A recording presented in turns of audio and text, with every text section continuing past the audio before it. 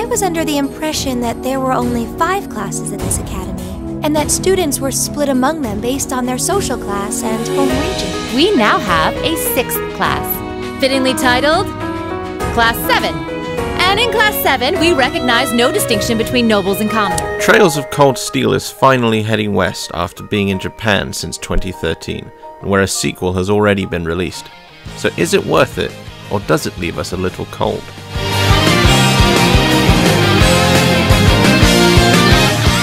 We've really enjoyed our time with Trails of Cold Steel, and feel it's definitely one of the strongest titles on Vita, and another great title in the PS3's expansive library because, sadly, it hasn't made its way to PS4, and seemingly neither will the sequel, although the third game is likely to do so. This review is based on playing the PS3 version, and whilst it clearly won't be one of the best looking games of 2016, it certainly will be able to hold its own in other aspects. Nihon Falcom are far from a big name outside of Japan, but this title shows that they definitely deserve to be. Trails of Cold Steel follows Class 7 at Thors Military Academy, which is the only class that mixes both nobles and commoners of Erebonia. The story follows the class as they learn to get along and accept each other and themselves, and has a strong focus on the class system and how it's crumbling away. Nobles and commoners are still largely at odds with each other, and many don't think that they should be mingling, but it's become clear that this way of thinking is outdated. There are also threats of civil wars, and Class 7 has been formed as an experiment to create the best unit possible for battle. It's certainly a slow burner, with the opening hours explaining how the game works, and the game has an abundance of dialogue, which can take a good 6 or so hours to sift through, but it's worth sticking with. The game is turn-based and has a large cast of characters to play around with, and there are clear influences from Persona where character bonding and free time is concerned, which we're happy to see, as we love learning more about characters in RPGs like this.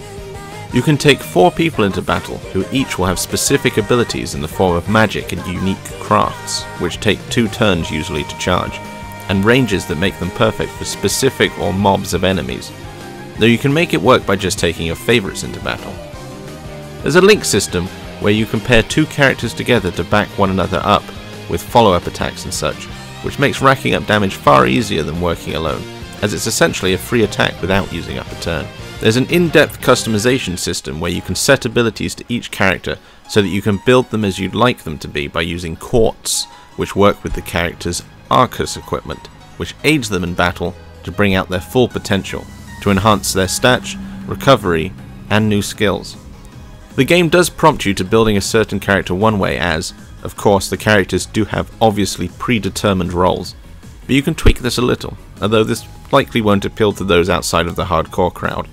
We liked keeping the characters as they were initially introduced. You have free time to do side missions, or to bond with other characters and learn more about them, although you can only do this so many times per day, so it's wise to focus on your favourites first, as it's not guaranteed that you'll max all bonds in your first playthrough. There is a lenient calendar system that keeps you on a loose leash, but keep an eye on it if there are any quests or bonds you specifically wish to do. You can fast travel to places, which is an excellent mechanic, especially with how big the areas are, and when you take on several side missions, the map itself is easy to read and useful too. You're unlikely to get lost, which is great as the game can sometimes be a bit overwhelming. Visually, the game isn't breaking any ground, but that's to be expected from a game that originally released in 2013. Character design, outfits, vast open areas and dungeons have clearly had a lot of effort and thought put into them, and this shines through despite the dated graphics. Like the story itself, there's plenty of love and care taken here, and a lot more detail and depth involved than we'd necessarily expect. The game's audio is also impressive, with a praiseworthy English dub, as is the norm with NIS America, and a memorable OST that could more than easily find its way onto your choice of audio player. Some notable voice talent includes Kaiji Tang, Kari Karenin, Marisha Ray, and Ben Diskin, and whilst we have no complaints, we wouldn't have minded hearing Yui Horie in the Japanese voiceover, but sadly, only the English dub is included. It'd be a shame to see this put anyone off, as the English dub really is great. The Legend of Heroes Trails of Cold Steel is a mostly traditional JRPG that will scratch the itch you may have for turn-based games. Its in-depth and lengthy story, fleshed out gameplay and excellent art design and audio make it an easy recommendation and another great release from NIS America.